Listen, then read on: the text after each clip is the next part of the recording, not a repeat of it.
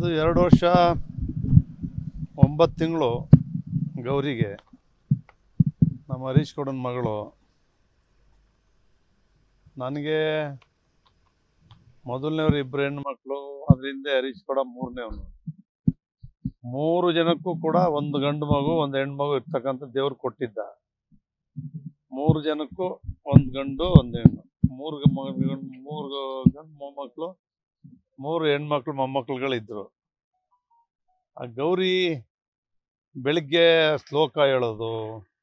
ಇಲ್ಲಿ ವಾಕ್ ಮಾಡೋರು ಪ್ರತಿಯೊಬ್ಬರು ನಮ್ಮ ಮಹಿಳೆಯರ ಜೊತೆ ನಿಂತು ಮಾತಾಡೋದು.